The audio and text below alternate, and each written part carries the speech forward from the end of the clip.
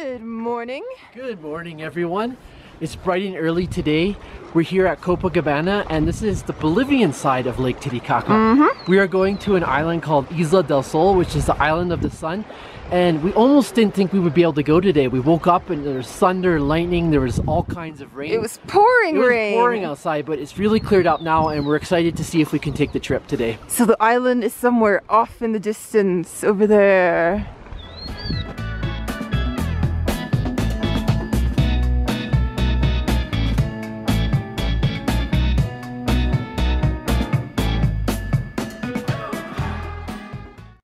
Have just arrived in Isla del Sol and the sun came out just in time. Now we're going to go visit some ruins and then we're planning to hike from the north end of the island to the south end. The first thing that struck us about Isla del Sol were the landscapes. We had to climb some pretty steep inclines to reach the top of the island, but once we did, we got some incredible views of our surroundings. We also enjoyed making friends with lots of animals along the way, including sleepy pigs basking in the sunshine and a mix of horses and donkeys.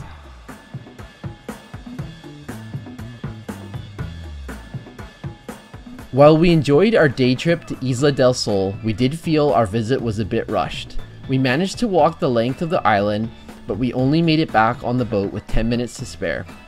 Crossing the island takes a lot longer than two operators let on, so if you really want to visit and you don't mind a remote setting, you may want to consider spending a night or two on Isla del Sol.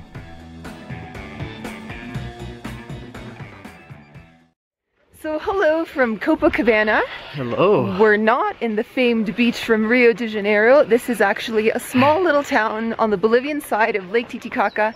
And we've been spending the past five days here, Yeah. just relaxing, getting some rest. And we actually left the vlogging till the very last day. I know, unfortunately, it's the rainy day, but yes, it's very overcast.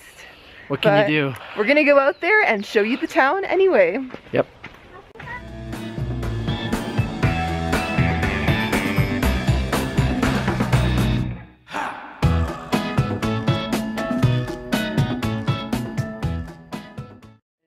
Here is the main drag of town. You're gonna find your restaurants, bars, and live entertainment. And lots of hippies.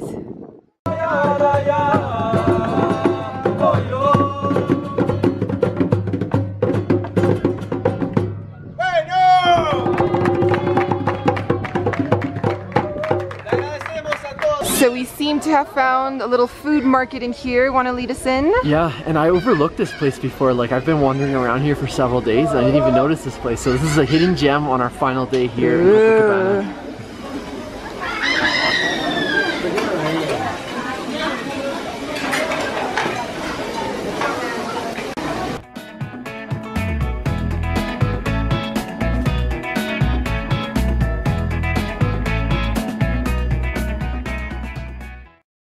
One meal that you absolutely must try when you visit Copacabana, and that is rainbow trout fish straight out of Lake Titicaca over there.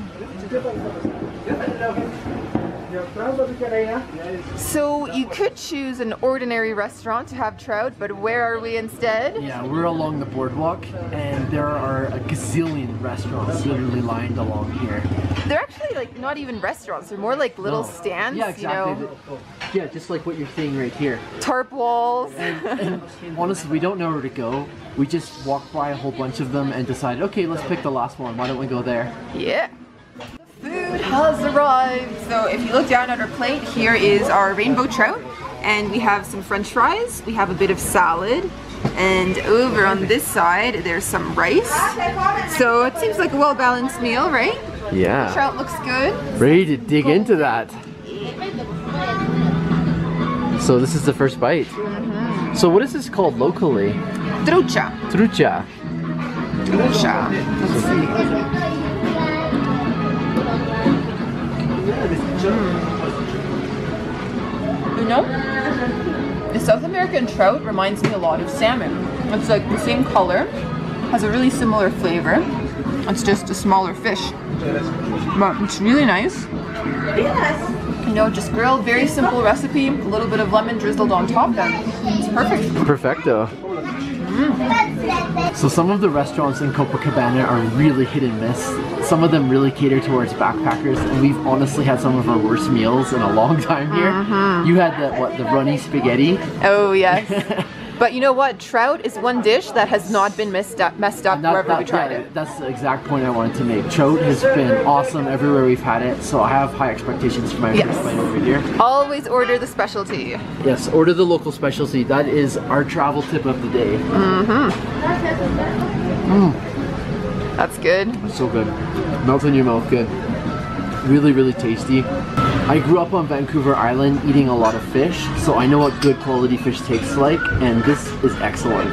Oh, so he's a connoisseur all of a sudden. A little bit of a fish snob. Ah.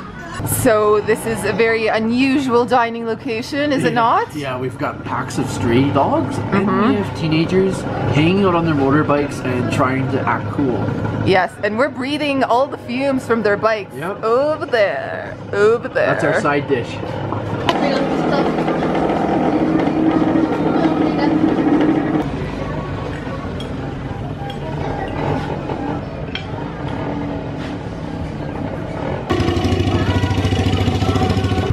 All right, pup. You want fish? Fish skin? This one's not interested. This one doesn't like fish skin. How about you, friend? Do you like fish? Fish? Yes. Good boy. Good boy. Good boy. Final thoughts. Final thoughts. Well, you know what? The fish was pretty good. Um, I have to say the rice was a little bit bland. It wasn't really seasoned. The salad was okay. It's just lettuce and tomatoes, and then we had some greasy fries. But I'd say the fish was the start of the meal, and it's a very budget-friendly lunch. We only paid 25 bolivianos, which I don't know. You do the conversion. That's like just over three dollars. over three dollars. there you go. Not bad at all.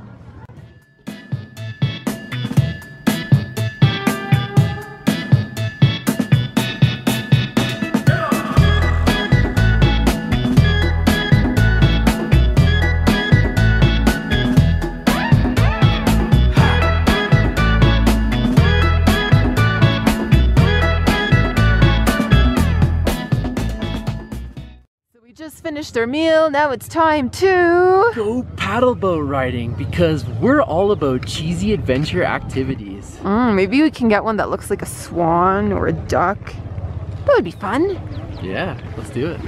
Check out our sweet ride. We are riding a swan around Lake Titicaca for 15 bolivianos. That'll get you 30 minutes on this little boat. And honestly, it's kind of an old boat and it doesn't steer very well. Yeah, so I don't know if we're gonna like bump into things or crash or And drown or We forgot to ask for life jackets as well. whoops. But it's shallow, relatively shallow, right?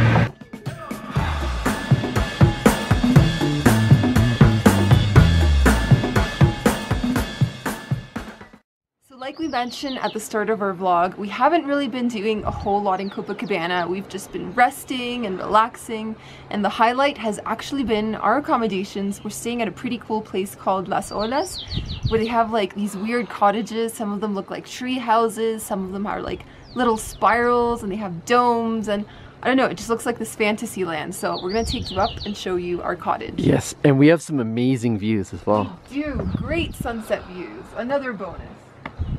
Oh, cat.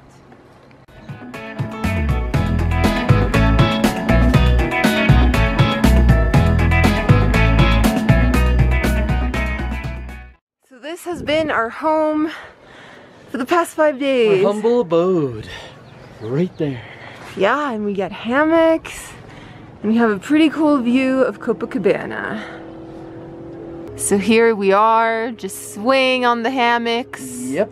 What are your final impressions of Copacabana since we're leaving tomorrow? Well, Copacabana was everything we wanted it to be, basically. We had been hiking in Machu Picchu, you know, hiking the Inca Trail, and then we had a really busy hiking tour while we were visiting Lake Titicaca mm-hmm. on the Peruvian side. So we just wanted to come to a place that was really chill, that had a kind of a relaxed vibe, and that was affordable, and Copacabana checked off all three of those boxes. And how about you, Miss Audrey? Miss Audrey. What's the question? Question is, what are your final thoughts on your time here in Copacabana? final thoughts. I, I also agree this is a great place to relax because there isn't a whole lot to do here. I mean, aside from wandering the town, maybe taking a side trip to Isla del Sol. So yeah, great place to just rest and soak in the sunshine. Only the only tip that I will share is there are so many hippies here and they love having their drum and guitar circles right at bedtime. So like sometimes you wake up at 2, 3, 4 in the morning and you can still hear them going. So maybe choose a place that's like away from the beach. Or pack your earplugs. Yeah, there you go.